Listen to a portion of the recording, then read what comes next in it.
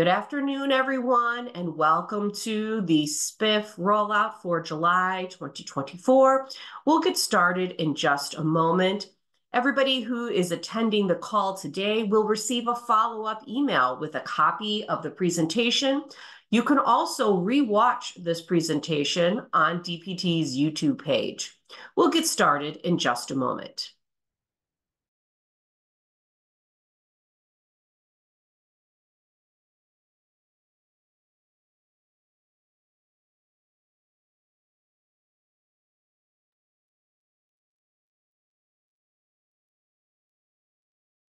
Again, good afternoon, everyone. My name is Kim Brisky. I am the Director of Communications at SomerCor.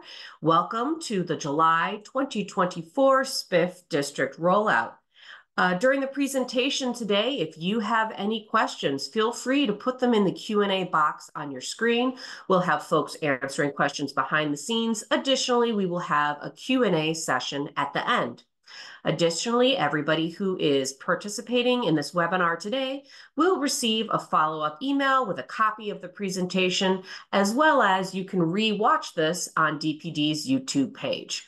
We'll get started in just a moment, and we will um, get rocking and rolling here as soon as we have a full house. We appreciate your participation today.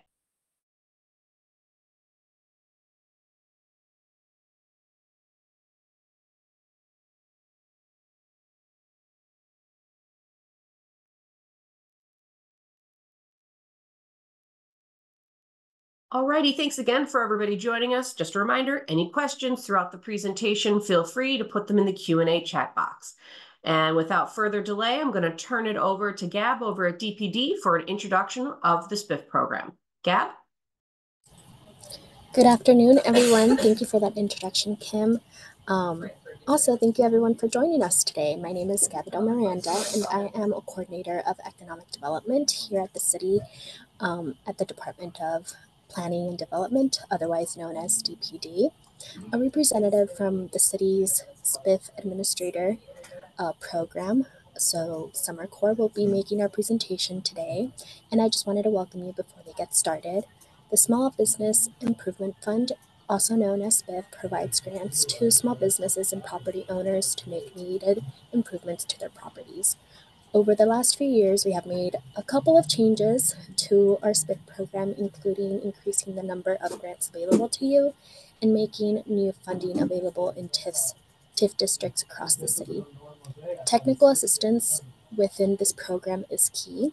When you submit your application, you will be assigned a SomerCor project manager that person is there to help you through the SBIF process. So if you have any questions about the process or run into issues that may delay your project, call your SomerCor project manager immediately and they can answer your questions and help you problem solve.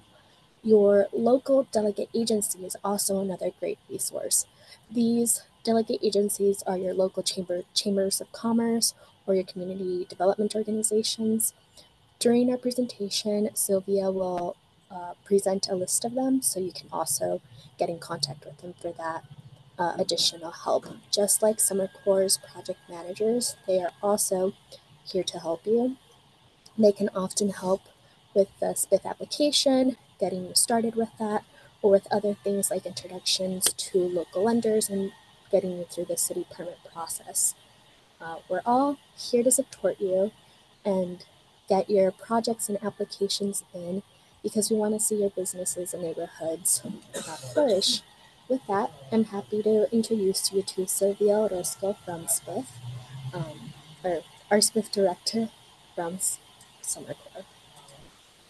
Thank you so much, Gabrielle. As she mentioned, my name is Silvia Orozco. I am the director of the Small Business Improvement Fund program with SomerCor. I've assisted over, oh, I would say hundreds of existing businesses, landlords, and startups over the years. SomerCor is a non-for-profit organization. We are a small business lender that offers SBA loans. We administer the SBIF program, and we also administer the Neighborhood Opportunity Fund program. Now in its 25th year, SBIF is one of the longest running and most successful City of Chicago programs. We've helped retain and expand businesses in nearly every neighborhood, dispersing over $118 million in grants to over nineteen hundred businesses. Please be advised that this is a non-residential program. The grant cannot be used for capital or operating expenses. It is specifically for infrastructure repairs. Thank you again for joining us. We'll go ahead and get started with today's presentation.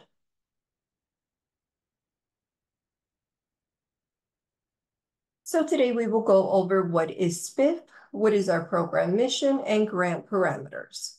Getting started, is your business or property in a SBIF district? What SBIF districts are open or on deck? What are the SBIF program rules? How do you apply? And what resources are available to help? We will have information on the July rollout and also sample projects, followed by SBIF bags, and additional question and answer session at the end. Launched in 1999, the City of Chicago's Small Business Improvement Fund program promotes economic development by providing small businesses and landlords with reimbursement grants for permanent building improvement costs. Residential projects are not eligible. SBIF grant uses local tax increment financing known as TIF revenue to reimburse grantees for the pre-approved repair or rehab of their business facilities or adjacent land acquisition. SomerCor is a program administrator contracted by the city's small, the, excuse me, the city's Department of Planning and Development. Eligible applicants. The properties must be in a TIF district where SBIF funds are available and the SBIF is authorized to accept applications. Landlords of commercial or industrial properties qualify. Business owners of commercial or industrial businesses who either own or lease their places of business. Tenants with prior written approval from property owners and also startups are eligible. They may apply with a business plan a current City of Chicago business license is required prior to final reimbursement. Here we'll go over the eligibility limits. If you are a commercial tenant or owner occupied, on average, your gross sales must be less than $9 million per year. If you are a landlord or of a commercial or an industrial building, $9 million or less in cumulative net worth and $500,000 liquidity is the max per an individual in order to be eligible for SBIF. Industrial tenants or owner-occupied businesses must have 200 or fewer full-time employees. All owner-occupied properties are subject to both tenant and landlord requirements.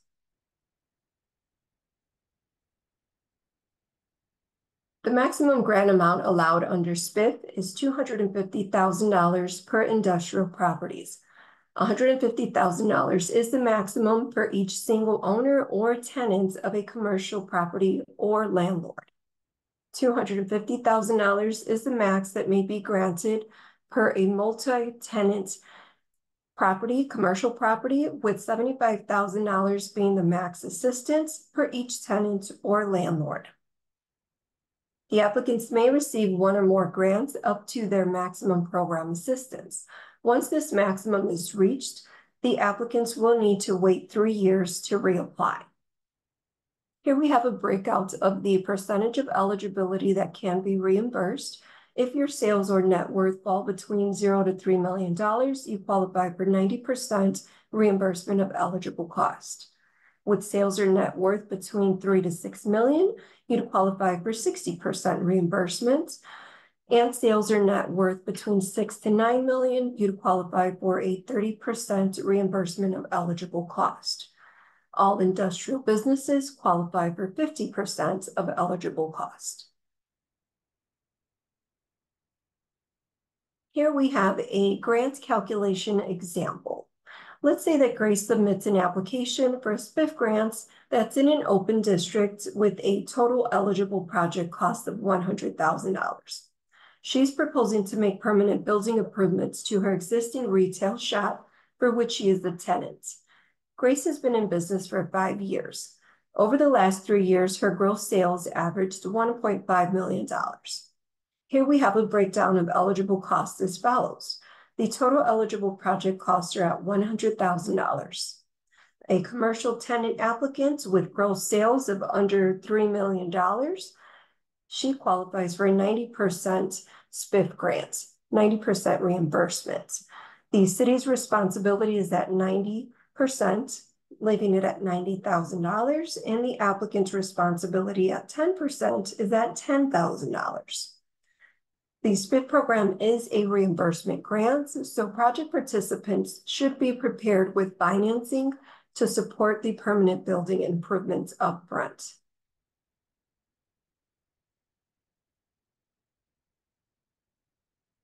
The SBIF program is a reimbursement grant, so project participants should be prepared with financing to support the cost of the permanent building improvements. Applicants are encouraged to contact their business lender or reach out to one of the lenders listed on the SomerCor' website in a timely manner. Grantees may choose to complete their projects in phases rather than requiring 100% of the upfront cost of the project. To participate, the grantees must receive an approval for the full scope of work and the phase work schedule. Construction timing will be completed based on necessity and the contractor's recommendations.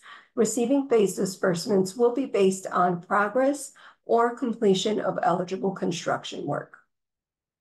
Here we have a phasing example. Let's say that a project requires a new roof, an HVAC system, and also facade renovations.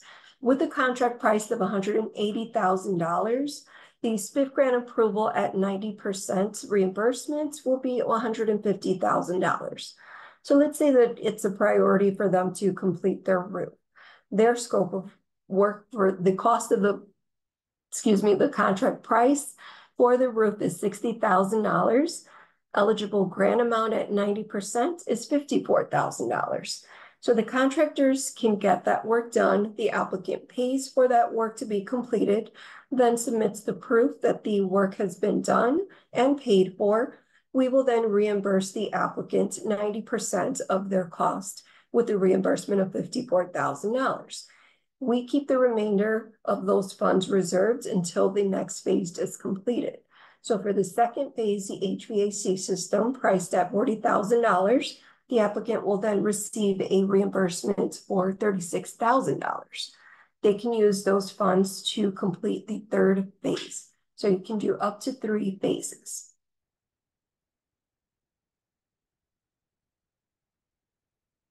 SBIF project timeline.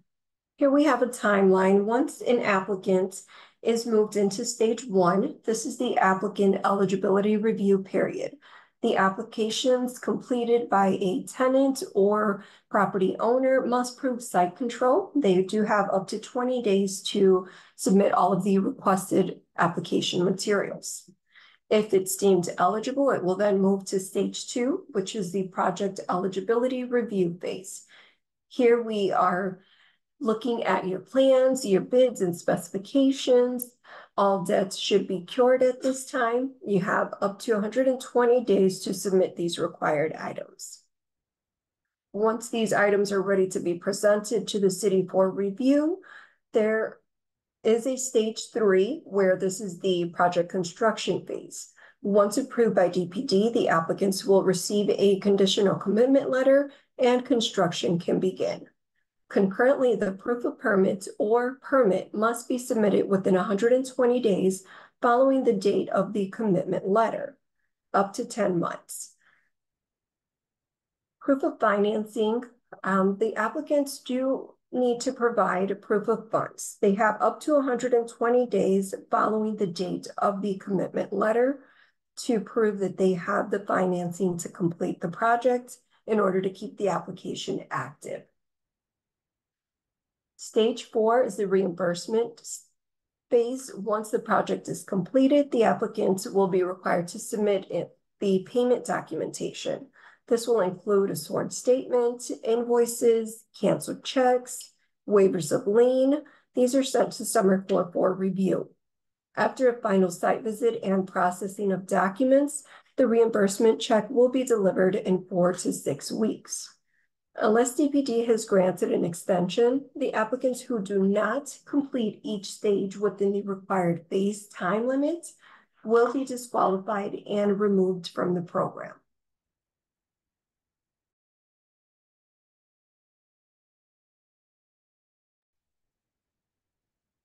Is your business or property in a SBIF district? You can visit our website at somercor.com slash SBIF to see if your property is in a SBIF district. Once you get to this page, you can confirm by clicking number one, and it will take you to the next page, which is the SBIF locator tool. So here you'd enter your address and it will give you detailed information based on that specific property. Here it will tell you if it's in a TIF district, it will have the TIF district's name, the rollout date, and also the delegate agency's information on this page. Which SBIF districts are open or on deck? Eligible SBIF districts in Chicago span neighborhoods on the north, south, and west sides. Each month marks a new 30-day period in which SBIF districts with available funds open for applications. Notice of district openings are provided to relevant aldermen, posted on DPD and SomerCor websites, and included in the SPIFgram. Please visit our website for the most up-to-date list of open and on-deck districts. What are the SBIF program rules? What business and organization types are ineligible to apply. Those that do not qualify for SBIF include chain and franchise businesses, currency exchange stores, places of worship, liquor stores, tobacco dealers, things of that sort do not qualify for SBIF. This list is not comprehensive. If you're unclear whether or not your business qualifies, you can always reach out to SomerCor and we'll advise further. What improvement costs are eligible for SBIF?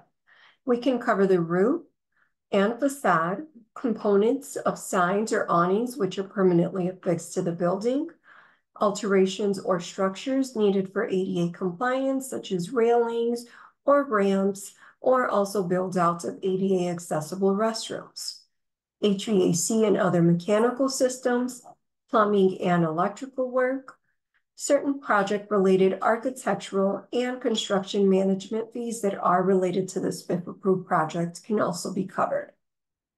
Permanent interior renovations, including fixtures, and the purchase of adjacent land parcels for purpose of expansion or parking.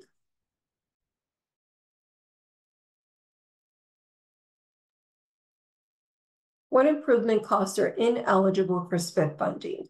SBIF does not cover any new construction, whether it's an addition or expansion or building from the ground up.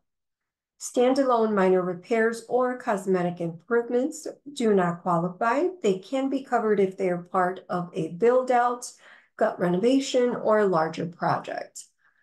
Equipment related expenses such as kitchen appliances, computers, office furniture, things of that sort that can easily be taken out of the building do not qualify for SBIF reimbursement. Planters that are surrounding or affixed to the building, any outdoor dining or drinking areas, including roof decks, beer gardens, outdoor patios, balconies, awnings, porches, and decks are excluded. Any fencing, including pergolas, trellises, arbors, privacy screens, and similar structures, parking lot construction or repair, landscaping, and work on the interior of residential units do not qualify for SBIF reimbursement.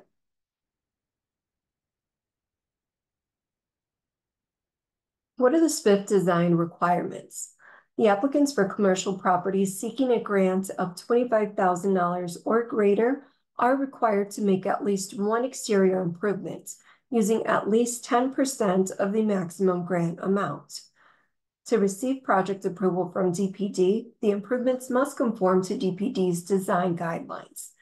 The applicants are strongly advised to consult with SomerCor and design professionals on design requirements and guidelines before drawing up plans for work. Key exterior design guidelines that DPD will review during, during the approval stage include preserving or recreating the original design and window openings when possible, incorporating permanent signage to clearly identify the business, adequate lighting, especially near entrances to welcome customers, avoiding window clutter. The windows should let in natural light and attract passerbys to the business. Please refer to the Department of Buildings guidelines for on-premises window signs for more information. Other forms of security are preferred, but if necessary, only interior mounted security gates that are integrated into the storefront design will be reimbursed. What applicant compliance measures are in place? Checks will be performed on all applicants during the approval stage to ensure that they are complying with child support laws and not indebted to the city. Any scofflaw debt must be cured to participate in SBIF. Applicants can cure debt, can cure the debt via a payment plan. They must be current on all payment plans to be in compliance with that to receive the SBIF reimbursement funds. All applicants must be current on property taxes to receive conditional commitments for funding or reimbursement for completed work. Each applicant must sign an economic disclosure statement. The grantees must sign an affidavit certifying that they will not relocate out of the TIF district or sell the business or property within a three-year period following disbursement of funds. To be reimbursed, landlord applicants have an must have an executed lease with a qualified tenant and that tenant must be occupying and actively operating their business or nonprofit out of the lease space. How do you apply? You can visit our website at sbif at somercor.com slash sbif to complete the application within the designated open acceptance period. Please allow two business days for SomerCor to confirm receipt of your application via an email response. If you do not receive an email confirmation within this time, please send an email to sbif at somercor.com or call the main line at 312-360-3300. The applicants are responsible for making sure submissions are received within the open acceptance period. Applications received after 5 p.m. on the last day of the acceptance period will not be eligible. What resources are available to help? You can visit our website to access resources to support your SBIF project. You can also connect with your local delegate agency for assistance in filling out your application.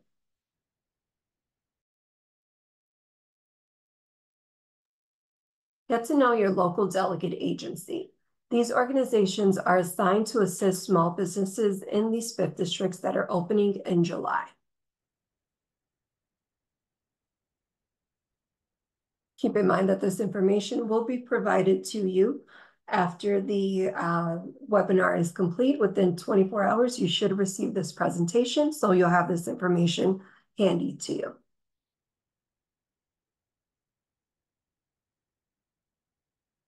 Here we have the list of districts that are open for July. These include 24th in Michigan, 71st in Stony Island, Austin Commercial, Roosevelt Cicero Industrial Corridor, and Woodlawn. We are now accepting applications through July 30th at 5 p.m.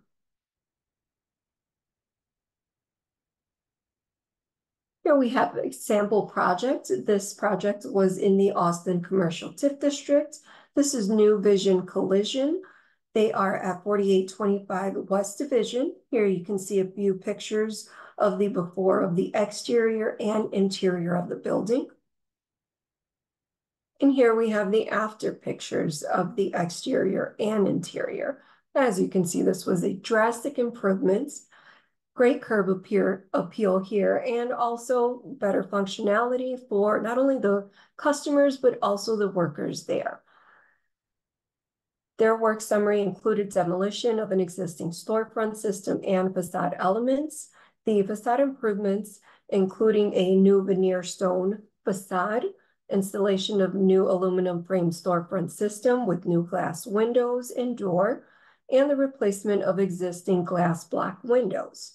The interior renovations included the installation of framing and drywall for a new ceiling, drywall repairs as needed, repair the subfloor and install new flooring, new doors, painting, and renovated two restrooms.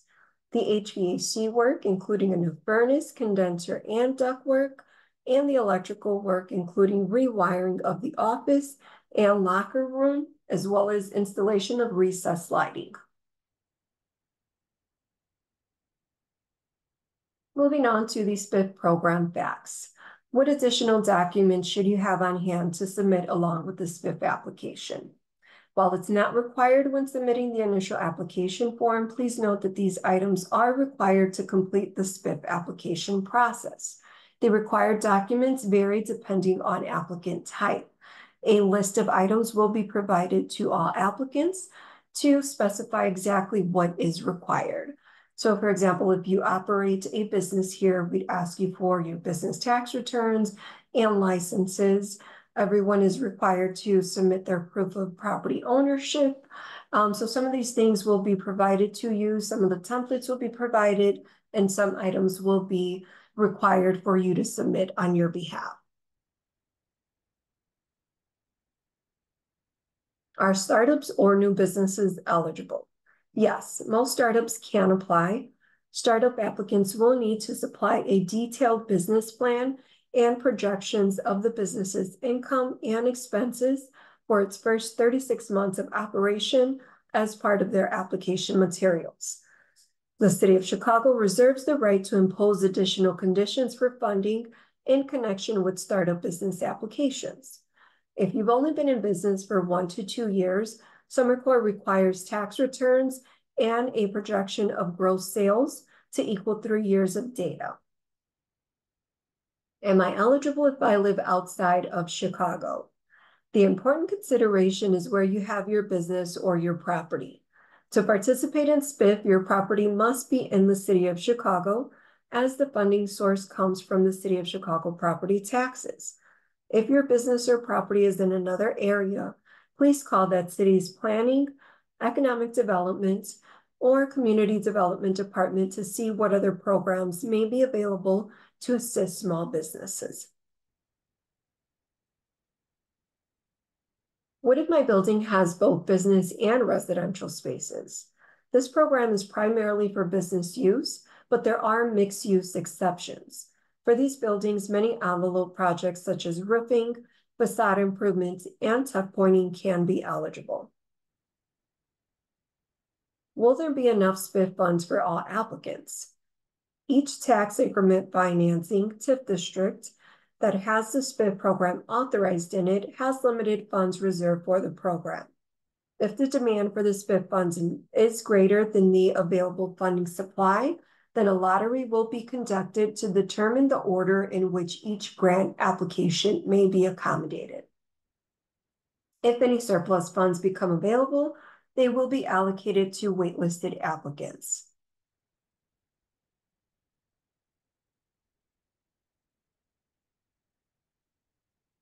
Can SBIF funds be used with other City of Chicago grant programs? the answer is no. SBIF cannot be used, excuse me. SBIF cannot be used at the same time as other financial assistance programs, like the Neighborhood Opportunity Funds or the Chicago Recovery Plan grants, on the same project covering the same work. However, you may apply for multiple grants at the same time and select the best fit for your project, provided that you stay within the grant timeline requirements. Is there SBIF funding available in my district?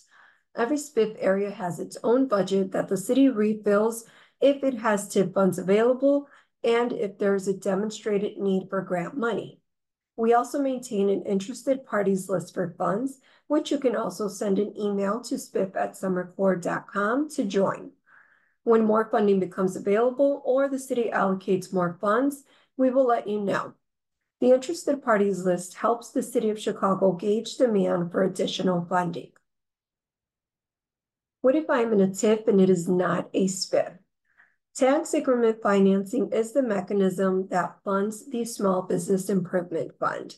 If you are in a TIF district and it does not have a SBIF, please contact your alderman. Here we have contact information for the SomerCor team and Nora Curry, who is the director on the city side with the Department of Planning and Development. You can visit both websites. Uh, SomerCor has a website for SBIF as well as the City of Chicago. Keep in mind that the Google Translate is available at the Chicago's website. The resources are available in other languages. Again, thank you for joining us. The copy of the presentation and a link to a video will be emailed to all attendees. Awesome. Thank you so much, Sylvia. Again, now is a great time for everybody uh, watching the call today. If you have any questions, you can feel free to put them in the Q&A box right now. Um, Sylvia, if you want to get started maybe with uh, just the basic first question, which is, what are some of the common challenges that you see for SBIF applicants? So the biggest challenge, since this is a reimbursement grant, is upfront financing. So you do not have to have the upfront financing available this moment as you apply during the month of July. However, we do advise you to start looking for financial resources immediately. I always say check in with your bank, let them know that you're participating in the SBIF program, and see if they are accommodating to provide a construction grant to you. We can also sign a letter of direction in which the grant proceeds will be paid directly to the bank to pay off a portion of your loan, and you will be responsible for paying off the remainder of the loan. So that is an option. Um, another challenge would be finding good architects and also contractors. So you want to be very careful of contractors reaching out to you for, you know, assistance um, in completing their SBIF projects. Uh, we do have a list of contractors that some of our SBIF recipients have used in the past. We also provide a list of licensed contractors provided by the City of Chicago. They the contractors do need to have a City of Chicago business license, but they don't need to be located within the City of Chicago. So those are, you know, two of the biggest challenges. Uh, keep in mind that you will have a SomerCor project manager assigned to you. So you have a contact person throughout the entire, um, basically throughout the entire process from start to finish. So if you have questions, I would definitely, you know, suggest that you ask them before making any changes. You know, if there's anything going on, please let the project manager know. They will advise further and, you know, we can keep things moving along, let you know if there's something that, you know, may pose, you know, a problem and may jeopardize your grant. Right. So if there is a delay or an issue, it's always best to reach out to your project manager, let them know there might be a solution that we can help you with. Um, you spoke a little bit uh, earlier about uh, you know startups as well as existing business requiring um, a city of Chicago license. But are there some instances where perhaps it's only a state license? Can you just talk about that and clarify how you can meet the requirement for that? Yes, so there are some businesses that are exempt from requiring City of Chicago business licenses. So with that, um, they most likely are regulated by the state of Illinois. So if you do not have a City of Chicago business license or you're exempt, you do have to have a state of Illinois license. So for example, a real estate broker, you know, will not have a City of Chicago business license, but they'll have their broker's license. So we'll request that in lieu of the city license. All right. Um, somebody asked, what if you own two commercial properties connected to each other? Can you speak specifically about the maximum amount of grant funds that you can obtain? Sure. So if it is a contiguous property directly next to each other, owned by the same person, there's no separation, there's no alley or street or anything like that in between, then they will be capped as one property. So that property, you know, if it's two buildings, they qualify for hundred and fifty thousand dollars, so you can decide what you want to use those funds for. Great. Um, one person asked for clarity, once grants are given, other grants cannot be used for that specific project, but could be used for other projects within that business. Um, so maybe we need to just talk again about sort of how the grants play together, um, and what caps would be put on that. Yes, so you can apply for multiple grants, but you cannot, you cannot receive more than one grant for the same property, for the same scope of work that you're looking to do. And with SBIF specifically, it's written into our ordinance that any other city of Chicago funding that has been obtained within the past three years will be deducted from what's eligible through SBIF. So for example, if you have a single commercial property, you would qualify for a hundred and fifty thousand dollar grant. But you received a NOF grant a year ago for fifty thousand dollars. So that fifty thousand dollars will be reduced uh, by the SBIF eligibility amount. So that means your SBIF grants will now be capped at hundred thousand dollars. Great. Um, so somebody wanted to know specifically if you can this be used for daycare or uh, childcare. I would say, um, you know, specifically, it couldn't be in-home uh, daycare business, but if you actually have daycare there, um, but what somebody they said specifically could be used for an income property. Um, could you talk a little bit about that? So a daycare as a business does qualify. Um, you know, it all depends on who's actually applying for these types of things. You know, if it's an investment property and you own the building either individually or through an LLC, you can still qualify for SBIF and receive the grant there. You know, but as far as business type, daycare centers do qualify. Great. Um, you know, we've we have a couple people saying they weren't able to connect with delegate agencies. Um, and so if somebody has questions specifically about filling out their application, uh, is, should, is it good for them to just reach out to SomerCor? Maybe we can find a better resource for them. If they are not able to get in touch with any of the delegate agencies, I would appreciate it if someone would let us know. So, you know, we know those who are not being responsive, maybe we can reach out to them, probably better explain the SBIF process and see what's going on with that. But these delegate agencies are designed to assist you with this process. So please give us a heads up if you are not getting any responses from the delegate agencies. We'd be more than happy to walk you through the process, you know, assist in uh, completing the application, revising any documentation. You know, we're always here for technical assistance. And to that end, there's a specific question for somebody who was uh, a veteran who was interested in using the SBIF program. We don't specifically have any uh, anybody who's actually has you know for veterans using the SBIF program. But again, feel free to use the other delegate agencies. Reach out to us, or I'm sure that within the uh, city of Chicago, they also have uh, veteran resources that they could also be of assistance to you. Um, let's see if I have anything. Ah, uh, am I eligible for the SBIF grant for a three flat? Um, one is unit owner occupied and the other are rentals. Um, but I can't produce a uh, oh, so so I guess the question there this one is a little bit more specific but can we talk maybe a little bit about how a multi-tenant building would work with the SBIF program how does that work with the grant amounts and and how does that work if you're a landlord for a multi-tenant space so for multi-tenant spaces it can go one of two ways. One can be the landlord applies for grants and can get up to $150,000 just for the landlord. That means that landlord is denying any other SBIF tenants from applying. There's the second option in which the landlord can apply, the tenants can also apply. In that case, each applicant will be capped at $75,000 each, with the entire property being capped at $250,000. So we will not cover any residential aspect, any common use space, any interior residential, you know, um, exterior facade windows, things of that nature that pertain to the residence, Those will strictly be excluded. All right.